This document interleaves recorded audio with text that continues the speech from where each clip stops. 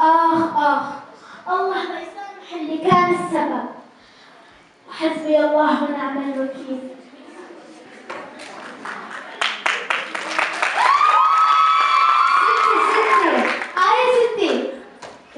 معلمتي طلبت مني أحفظ هالقصيدة عشان احكيها في يوم الأرض هذا اللي إحنا فرحين فيه يا ستي؟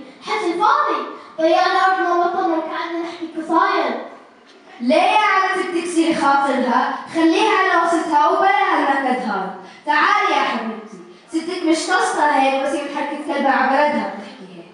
وشو اللي حرك كلبها يما؟ كان إلنا وطن وكان إلنا أرض بنفتحها وبناكل من خيرها وكان إلنا دور عايشين فيها أجا هذول اليهود الله يكسرهم ويكسف أعمارهم أخذوا كل شيء أخذوا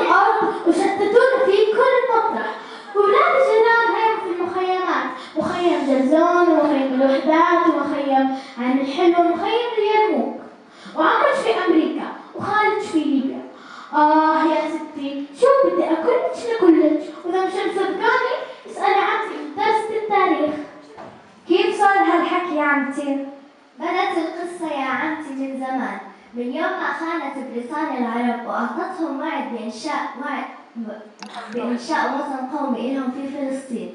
الوعد المشؤوم وعد بلفور في عام 1917 وبعد ما أخذ اليهود كلمة من بريطانيا بدوا يهاجروا على فلسطين من كل صوب ومطر وفي عام 1948 صارت النكبة. الله ينكبهم الله ينكبهم في كل مطرح احتل اليهود فيها أراضي كثيرة من فلسطين. مثل مدينة مثل مدينة عكا وحيفا ويافا وعسقلان.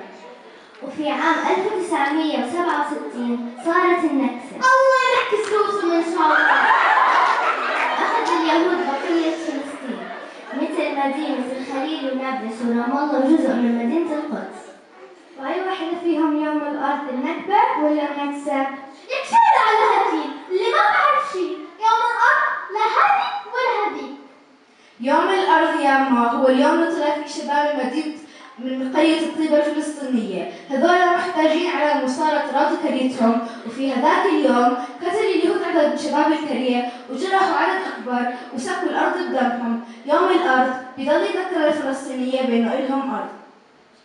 وشو يعني مصادرة الأراضي؟ اليهود بياخذوا الأراضي من أصحابها ويبنوا فيها مستوطنات لإلهم. على هيك يا ستي. كل يوم لازم يكون يوم الأرض عشان ما ننسى إنه إنه أرض مسلوبة لازم ننسى.